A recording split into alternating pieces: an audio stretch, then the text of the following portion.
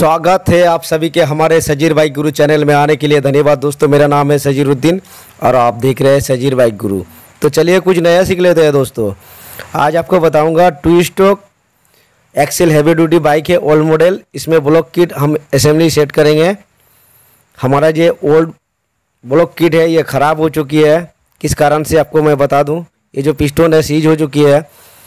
Customer ने जब petrol भरा है तो उसका साथ इंजन में जो ऑयल रहता है मोबिल जो रहता है उसे एक लीटर पेट्रोल में 25 एम एल ऑयल देना चाहिए लेकिन नहीं दिया है। उसका कारण ये खराबी हो चुकी है और भुगता है। तो उसको लगाना पड़ेगा लाइनर ब्लॉक किट बोर करके भी, भी हम लगा सकते थे लेकिन बोर करने से क्या होता है बाइक गर्म होने के बाद ख़राब हो जाता है। बोर अच्छे से अगर होता नहीं ज़्यादा टाइट कर देता है तो ये प्रॉब्लम हो जाता है। तो मैंने सोचा इसका कीमत तो है सोलह सौ सत्रह सौ रुपया इस तरह कीमत है तो मैं नहीं लगा दूँ। ये पूरा ख़राब हो चुकी है, ब्लॉक किट। इसे बोर करने से चलेगा, पच्चीस साइज़ में कर सकता हूँ, लेकिन नहीं करूँगा, फिर ये ख़राब हो जाएगा। तो चलो, मैं ब्लॉक किट अनबॉक्सिंग करता हूँ और आपको, आप लोगों को दिखाता हूँ। इसका कीमत है सोलह सौ चौहत्तर रुपये, इसका कीमत है दोस्तों जेनोइन है ओरिजिनल टी कंपनी का है। तो चलो, फटाफट मैं इसे काटता हूँ, इसके अंदर क्या क्या आता है।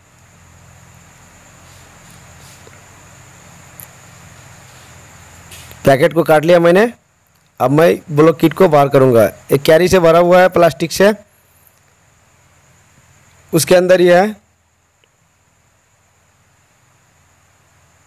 दोस्तों, ये है ब्लॉक किट। जैसे एम बाइक का लग रहा है। पहले जो एम एट्टी एम फिफ्टी रहता था, उसी तरह रहता है। ये लोहे का है। ये एल्यूमिनियम का नहीं दोस्तों। ये पूरा बॉडी लोहे का है। और इसमें सिर्फ़ piston piston ring, gudgeon pin और सार क्लिप है दोस्तों। ठीक है, पैकिंग टैकिंग कुछ नहीं है। सिर्फ़ पिस्टोन रिंग सेट करा हुआ है। सार क्लिप भी एक लगा हुआ है, गजन पिन भी उसमें लगा है और इसमें सेटिंग आता है। तो मुझे कुछ इसका टाइमिंग वगैरह कुछ भी नहीं करना पड़ेगा, ये टू स्टोक बाइक है। सिर्फ़ पिस्टोन का मार्किंग मुझे देख के लगाना है, किस तरह से पिस्टोन लगाएँगे, वो देख लीजिए। अगर उल्टा पिस्टोन आप लगाए देंगे तो आपका जो रिंग है टूट जाएगा किक मारने का बाद। उसका जो साक्शन का छेद होता है, उसमें अटक के बाद। तो दोस्तों, मैं लाइनर ब्लॉक किट लगाने से पहले मैं एक चीज़ आपको बता देता हूँ। इसके जो कनेक्टिंग रॉड है, इस रॉड को मुझे क्या करना पड़ेगा? पूरा चेकअप किया मैंने, इसका ठीक था। अगर आपके पास ऐसा बाग बाइक आते हैं तो अगर आप ब्लॉक किट लगाते हो तो उसको चेक कीजिए, कनेक्टिंग रॉड को। उसके अंदर बैरिंग को चेक कीजिए।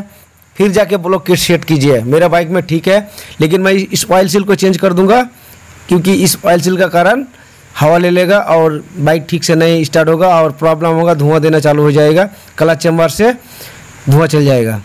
तो चलो, इस पिस्टन को मैं, ये तीर चिन्ह जो है मार्किंग ये देखो एग्जिट लिखा हुआ है, ये नीचे जाएगा साइलेंसर का साइड पे, ठीक है? इस तरह से मैं सेटिंग करेंगे, देखो। हाँ इस तरह से, इस तरह से नहीं। इस तरह से लगाने से क्या होगा? पिस्टन रिंग, जो रिंग है, रिंग टूट जाएगा, एक ही चांस पर। तो मैं ये गलती करना नहीं चाहता हूँ। आर एक संडे बाइक में ये गलती मैंने एक बार किया था और भुगताया था। बार बार रिंग टूट जाता था। तो मैं गलती नहीं करूँगा। दोस्तों, ये रोलर बूस है।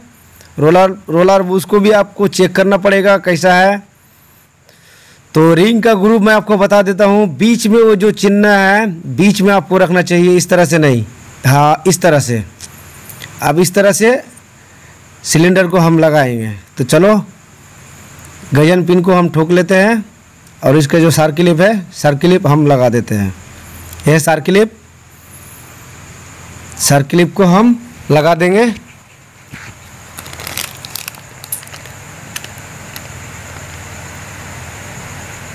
बस ये सार्किलिप लग चुकी है। थोड़ा लुब्रिकेट कर लेता हूँ। ऑयल देने के बाद, क्योंकि यहाँ कोई ऑयल आने वाला नहीं है इंजन से। ये बगैर ऑयल का रहता है, क्योंकि ये टू स्टोक बाइक है दोस्तों। तो इसमें पेट्रोल का सादी ऑयल मिक्सर करके हम लोग देते हैं। एक लीटर पेट्रोल पे पच्चीस एम एल ऑयल देते हैं और लुब्रिकेन पिस्टन को वही करता है। इसका क्लच चैम्बर में जो साढ़े तीन सौ एम में ऑयल रहता है दोस्तों, ये सिर्फ़ क्लच चैम्बर में ही रहता है गियर बॉक्स में ही। तो इसको भी ब्लॉक किट को भी हम थोड़ा लुब्रिकेट कर लेते हैं। जब हम लगाएँगे तो कहीं किक मारने के बाद इसमें कोई आँच ना आ जाए, कोई प्रॉब्लम ना हो जाए तो पहले पहले से मैंने लुब्रिकेट कर दिया है।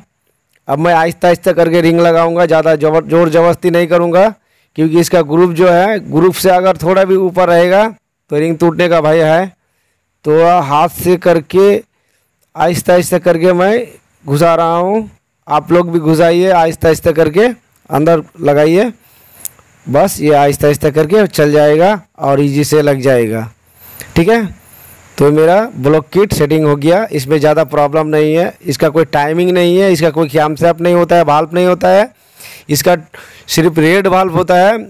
पेट्रोल टानने के लिए कार्बोरेटर का पाजर में है रेड वाल्व और इसका कोई एग्जस्ट वाल्व इग्नोल वाल्व नहीं रहता है। इसमें कोई टाइमिंग चेंज नहीं रहता है दोस्तों। तो चलो इसका जो वाइल सील है, मैं इसे निकाल देता हूँ। वाइल सील ये अगर ख़राब हो जाएगा तो आपका पॉल्यूशन आएगा दोस्तों और इंजन ऑयल ख़त्म हो जाएगा, जल्दी ही। इस वाइल सील का कारण प्रॉब्लम होता है स्टार्टिंग भी प्रॉब्लम होता है। ये अगर लीक करेगा तो स्टार्ट ठीक से नहीं होगा।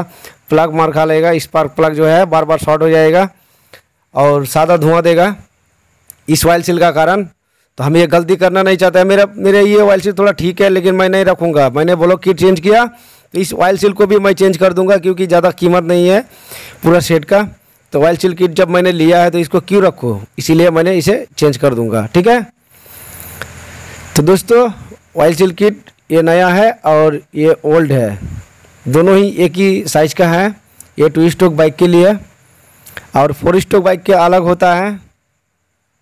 तो चलो इसे मैं आहिस्ता आहिस्ता करके लगा देता हूँ। इसको अच्छा से आप लगाइए।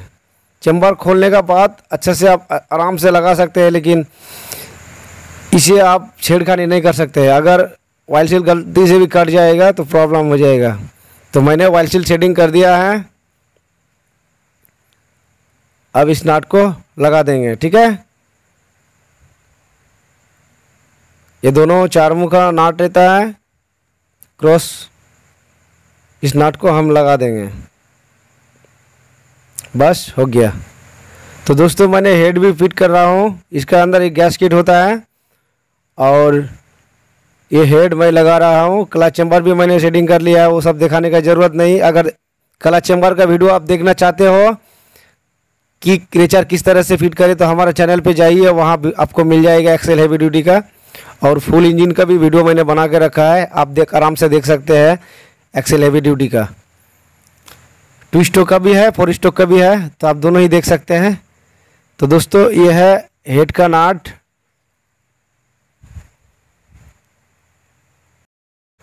तो दोस्तों, इसमें हम मोटा इंजन ऑयल भरेंगे, जैसे कि एल्प का है मोटर प्रो।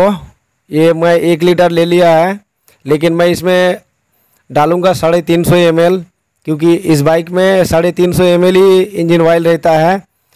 यहाँ से एक लीटर इंजन ऑयल है इसके अंदर तो मैं क्या करूँगा? साढ़े छः सौ छः सौ पचास एम एल मैं बोतल में ही रख दूँगा, उसको मैं पेट्रोल में डालने के लिए। जब एक लीटर पेट्रोल डालेगा तो उसको हम कस्टमर को दे देंगे। ये पूरा आइडिया करके दे देगा। एक लीटर पेट्रोल पर पच्चीस एम एल ऑयल डाल दे देगा।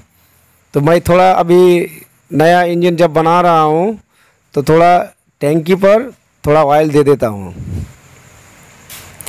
देने से क्या होगा, जब हम स्टार्ट करेंगे कार्बोरेटर होके जब इंजन पर जाएगा पेट्रोल तो थोड़ा लुब्रिकेन करेगा और अच्छा ही होगा।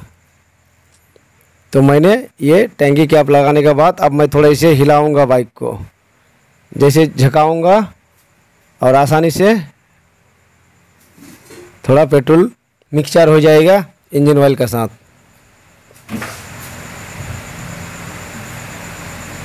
बस बाइक को मैं झका रहा हूँ।